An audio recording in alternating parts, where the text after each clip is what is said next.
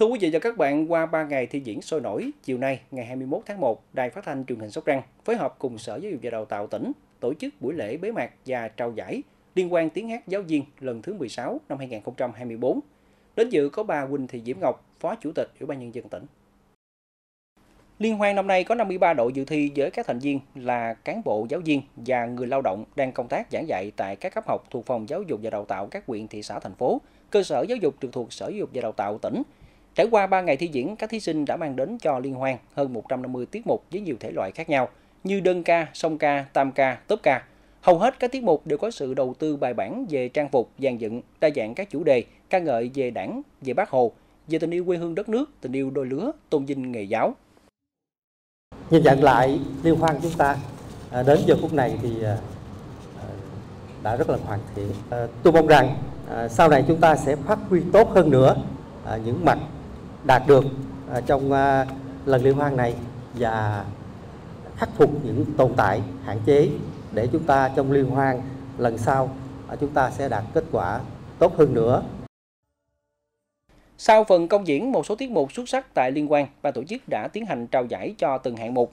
Theo đó, giải nhất thể loại đơn ca đã thuộc về chị Trần Thị Thơm, đơn vị trường trung học cơ sở và trung học phổ thông Tân Thạnh. Thể loại song ca, tam ca, giải nhất thuộc về Trần Tuấn Thanh, Tô Văn Tâm, Nguyễn Thị Quyên, đơn vị trường trung học phổ thông Thiều Văn Chổi. Phòng Giáo dục Đào tạo huyện Châu Thành xuất sắc giành giải nhất cả hai hạng mục tốp ca và toàn đoàn. Ngoài ra còn có các giải nhì, ba và khuyến khích được trao cho các đơn vị khác.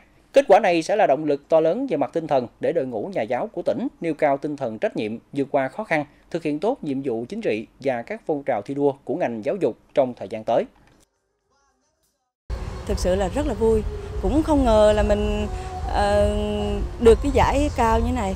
Cái giải thưởng này thì thực sự là nó rất là có ý nghĩa rất là lớn. Nó tạo bước đệm cho mình phát triển hơn trong công việc nhất là công việc giảng dạy của mình. Em cảm thấy rất là vui và hạnh phúc khi tham gia chương trình này.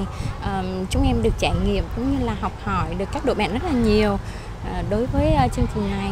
Sẽ là động lực là bước ngoặt cho chúng em sẽ uh, phát triển như là nền tảng cho chúng em công tác tốt sau này. Liên hoan tiếng hát giáo viên lần thứ 16 năm 2024 nhằm xây dựng phong trào văn hóa văn nghệ và nâng cao đời sống tinh thần cho cán bộ nhà giáo, người lao động ở các đơn vị trường học.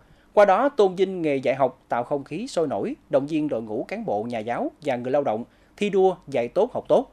Liên hoan cũng là hoạt động chào mừng 94 năm ngày thành lập Đảng Cộng sản Việt Nam, mừng xuân mới Giáp Thìn 2024.